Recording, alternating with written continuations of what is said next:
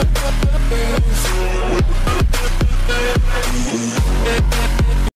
ஹே guys எல்லாருக்கும் வணக்கம். இந்த வீடியோ நம்ம பார்க்க போகிறது என்னன்னா தமிழ்நாடு மின்சார வாரியத்திலேருந்து ஒரு முக்கியமான அஞ்சு விஷயம் சொல்லியிருக்கிறாங்க. அது என்ன அப்படிங்கிறத இந்த வீடியோ ஃபுல்லாக நம்ம டிஸ்கஸ் பண்ண போகிறோம் ஏற்கனவே நம்ம சேனலில் வந்த விஷயங்களை தொகுத்து முக்கியமான ஒரு அஞ்சு விஷயமா சொல்லியிருக்கிறத நம்ம அப்படியே நம்ம ஒரு வாசிக்க போகிறோம்னு வச்சுக்கோங்களேன்.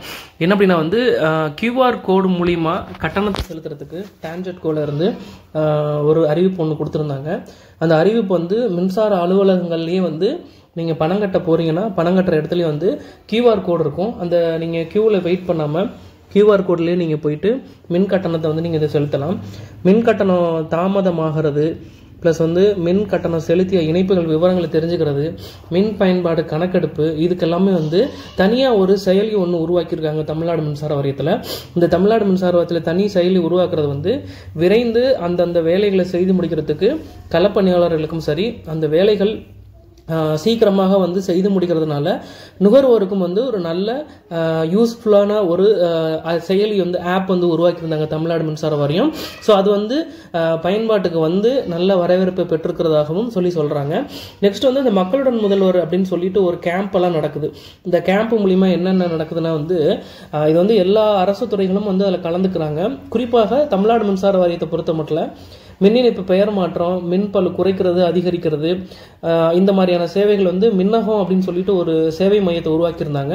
அதன் மூலியமாகவும் அந்த மக்களுடன் முதல்வர் ப்ரோக்ராம் மூலியமாகவும் இது வந்து உடனுக்குடையாக அந்த விண்ணப்பம் நீங்கள் வந்து ஒரு மனு கொடுக்குறீங்க இல்லை வந்து ஒரு புகார் கொடுக்குறீங்கன்னா உடனுக்குடனே அது வந்து சரி செய்யப்பட்டுக்கிட்டு இருக்கு. ஸோ இதெல்லாமே வந்து தமிழ்நாடு மின்சார வாரியத்தில் புதுசாக இம்ப்ளிமெண்ட் பண்ணியிருக்கிற விஷயங்கள்.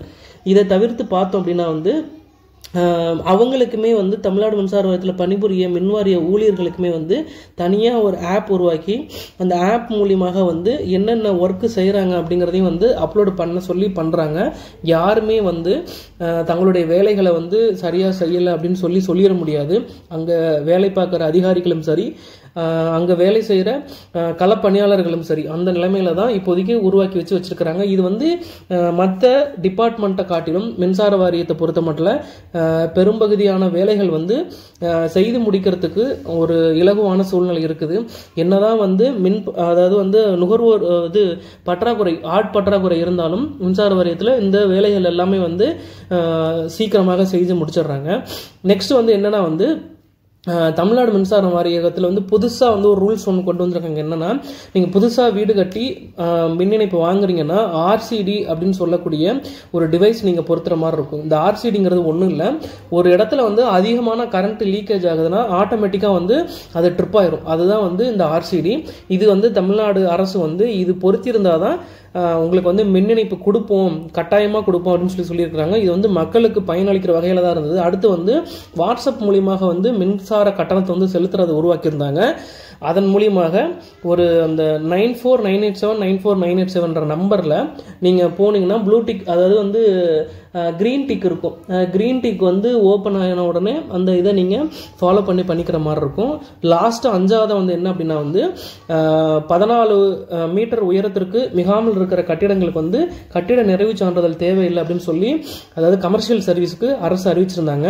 ஸோ இந்த விஷயங்களை தான் இந்த வீடியோவில் நம்ம பகிர்ந்துக்கணும்னு நினச்ச விஷயங்கள். இதில் ஏதாவது சந்தேகம் இருக்குன்னா கீழே மறக்காமல் கமெண்ட் பாக்ஸில் கமெண்ட் பண்ணிவிட்டு ஏதாவது தகவல் சொல்லணும்னாலும் சொல்லுங்கள் நன்றி நண்பர்களை. இன்னொரு வீடியோவில் பார்ப்போம். தேங்க்யூ